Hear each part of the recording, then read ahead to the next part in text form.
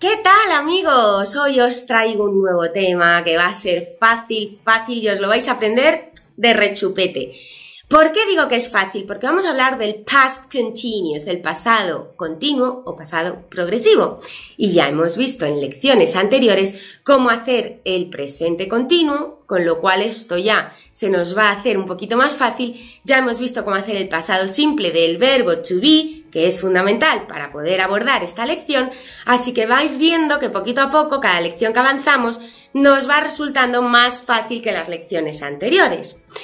Hoy te traigo esta nueva lección del pasado continuo para que sepas cuándo usar este tiempo verbal y cómo construirlo. ¿Quieres ver y comprobar por ti mismo lo fácil que es? Pues quédate, que te lo cuento. Y si te queda alguna duda, pues me la dejas aquí, en los comentarios del vídeo. Eso sí, no dejes de hacer los ejercicios que te dejo aquí. Hay que practicar. Así que ponte la pila, que comenzamos ya mismo.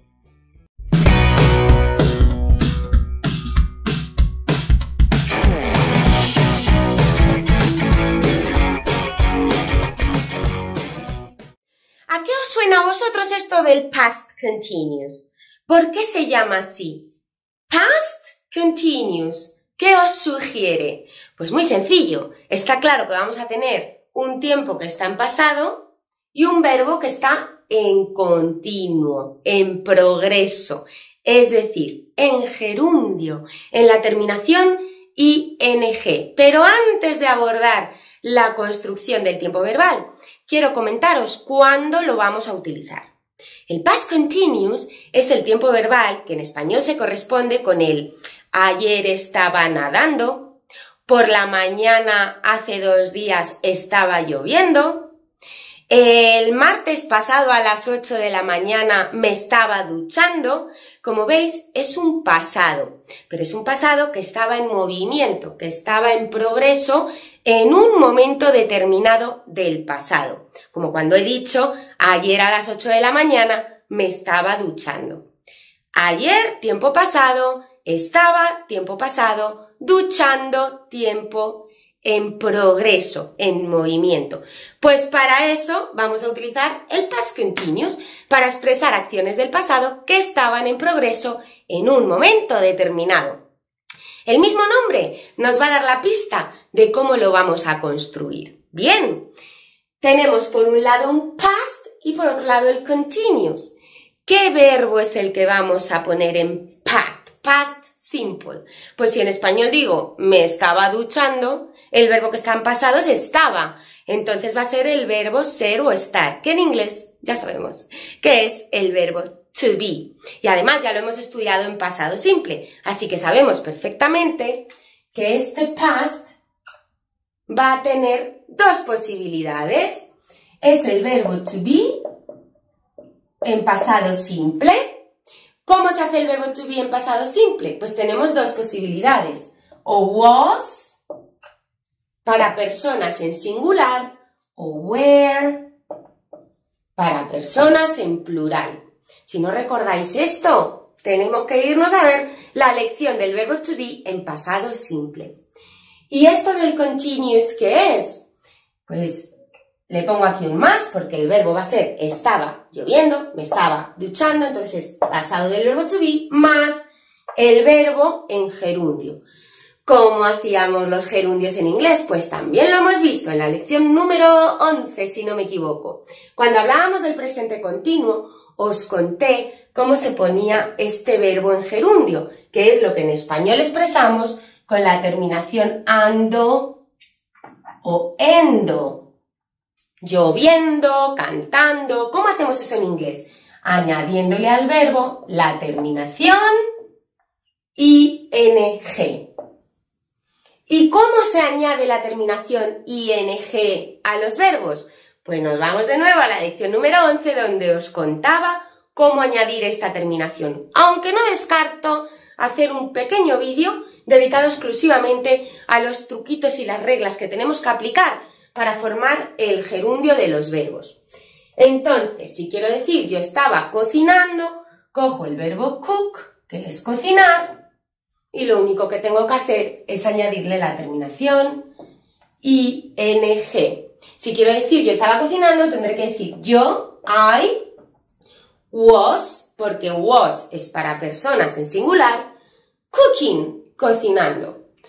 Si quiero decir tú estabas cantando, tendré que decir you were, porque en este caso el pronombre personal you toma la forma were del pasado simple del verbo to be, y le añado el cantando, que como el verbo cantar es sing, lo único que tengo que hacer es añadirle la terminación del gerundio ando, que en inglés es singing. Esto es, en términos generales, la formación del pasado continuo. I was cooking. You were singing. Como veis, lo prometido es deuda. Os dije que era una lección que estaba chupada y chupada está, demostrado queda. Vamos a practicarlo un poquito en esta forma afirmativa. Vamos a poner todo esto un poquito en práctica con estos cuatro ejemplos que hemos puesto aquí. Son cuatro oraciones que expresan acciones en pasado continuo porque se han dado en el pasado en un momento concreto. Ese va a ser nuestro indicador de past continuous, acciones del pasado que están en progreso. La primera dice, ayer a las 11 estaba durmiendo. Estoy hablando de algo del pasado, de un momento concreto y de una acción que estaba en progreso en ese momento concreto. Vamos a pasarla al inglés. Ayer a las 11. Este es mi indicador. My indicator that I have to use the past continuous tense. El indicador de que tengo que utilizar el pasado continuo o progresivo. Yesterday. At 11.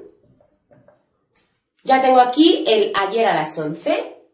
Yo estaba durmiendo. I. Yo estaba, ¿cómo digo esto en inglés? Con el verbo to be en pasado. I was. I was es la forma que le corresponde al pronombre I en pasado simple del verbo to be. Y ahora tengo que poner el durmiendo. Tengo que añadir la terminación ing al verbo dormir que en inglés es sleep. Solo hay que añadir el endo, el ing en inglés. Yesterday at 11 I was sleeping. ¿Bien? ¿Veis que es fácil? ¿Lo veis como no os mentía? El martes pasado, acción del pasado, tú estabas viajando. Era una acción que estaba en progreso el martes pasado. La hacías tú. Pues vamos a decir primero el martes pasado. Last Tuesday. Y ahora vamos a decir tú estabas viajando. ¿Cómo decimos tú estabas en inglés? Decimos you were. Esta es la forma que le corresponde al pronombre you para hacer el pasado simple del verbo to be. You were viajando. El verbo viajar en inglés ya sabemos que es travel. Y le tengo que añadir la terminación ing. Como es un verbo que termina en L, tengo que duplicar esta L para poder añadirle mi gerundio y decir viajando, traveling. Paloma, esto de añadir la ing doblando la L, ¿por qué? Pues porque ya hablamos de cuáles eran las normas para añadir el ing a cualquier verbo en la lección número 11 del presente continuo. Si no lo has visto, échale un ojo, aunque como ya os decía, es muy probable que hagamos una lección complementaria solo explicando cómo se añade este ing.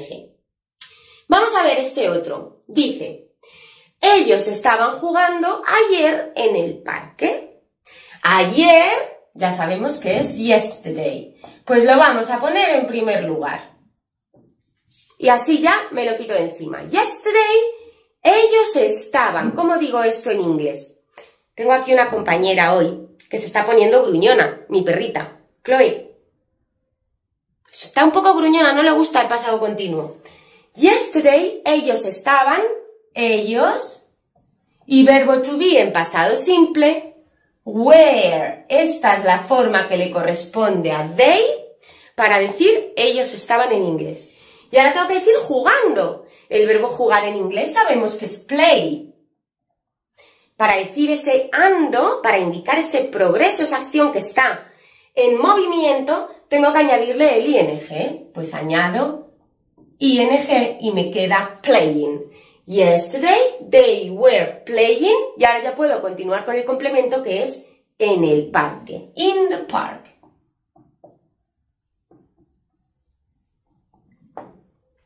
Fácil, ¿a que sí? Bueno, esto es el pasado continuo. Generalmente se utiliza también en combinación con el pasado simple cuando hablamos de una acción que está en progreso y que de repente es interrumpida por otra que es la que va a ir en pasado simple. De esto vamos a hablar en próximas lecciones. Ahora lo que quiero es que vosotros me digáis cómo ponemos en inglés mi perro estaba comiendo.